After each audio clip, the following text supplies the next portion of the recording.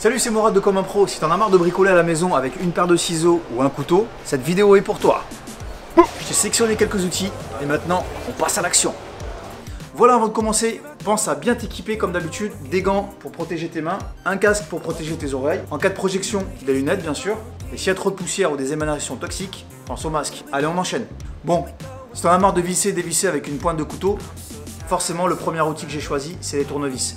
Donc c'est bien d'avoir un jeu complet, du plus petit au plus grand, en cruciforme, en plat, en PZ, voilà, n'hésite pas à t'offrir un, jeu complet. Tu en auras besoin dans tous tes travaux de bricolage. Et maintenant, la pince multiple. Pourquoi? Parce qu'elle a de multiples prises. Donc tu peux attraper une petite pièce comme ça, à dévisser, et une pièce grande comme ça. Toujours dans les pinces, une pince à bec. Ça, c'est pas obligatoire, mais c'est vraiment bien quand tu as des petits éléments à tenir pendant que tu serres. Par exemple, dans une prise, tu obligé de tenir le fil et puis serrer en même temps.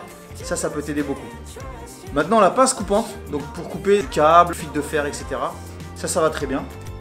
Et maintenant, l'une de mes favorites, la clé à molette. Plutôt que d'avoir une dizaine de clés plates pour défaire des écrous, l'avantage de la clé à molette, c'est qu'elle est réglable. Tu peux passer d'une petite taille à une super et super grande taille. Et l'avantage de celle-ci, c'est pour ça que je l'ai achetée, c'est sa petite taille qui va te permettre d'accéder à des endroits un petit peu inaccessibles. La pince à placo, on a tous du placo à la maison et pour une cheville à expansion, c'est indispensable. Et maintenant le marteau, du plus simple au plus compliqué. Non, je plaisante. Celui-ci, c'est un marteau de charpentier, c'est bien pour envoyer des clous. Il fait aussi arrache-clous. Donc si tu envoies un clou un peu de travers et que tu te dis non, ça va pas aller, tu as cette partie-là qui va te permettre d'arracher le clou. Et ça, c'est un marteau tout simple. Dans la famille des marteaux, ne surtout pas oublier le maillet. Un noir, un blanc. Pourquoi? Pour les matériaux fragiles, le noir pour du carrelage par exemple et tout ça ira très bien. Par contre, pour du parquet, un matériau fragile, vaut mieux utiliser le blanc pour éviter les marques noires et le nettoyage qui va avec. Et maintenant les scies. À métaux, tu peux aussi couper du PVC par exemple. Et les scies pour le bois. Donc ça c'est une scie Egoin. Moi je l'utilise plus beaucoup. J'ai découvert la scie japonaise qui est beaucoup plus pratique. J'ai fait une vidéo d'ailleurs à ce sujet aussi. Je t'invite à aller la regarder.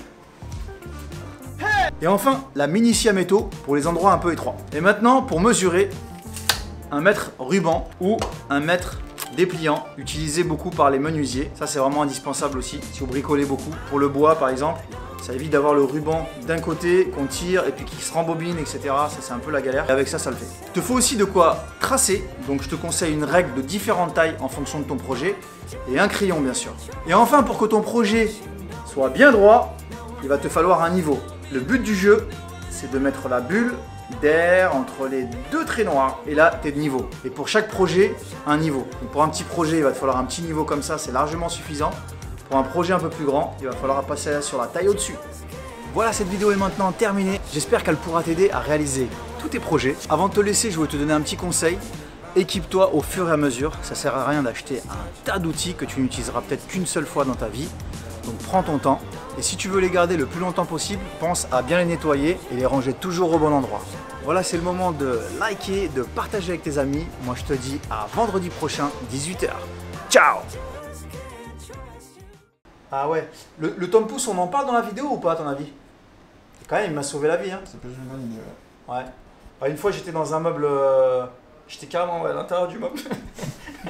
un meuble euh, épicier, là, tu sais, tout étroit, là. Ouais. Et tu vois, visseuse, rien à faire, les tournevis, rien à faire. Puis hop, j'ai pensé à lui, j'ai mis mon bras et j'ai réussi à, à, bien serrer cette vis. Donc euh, ouais, faut pas oublier d'en parler. I'm so tired, so fed up of you messing with my buzz. You shut down, had enough.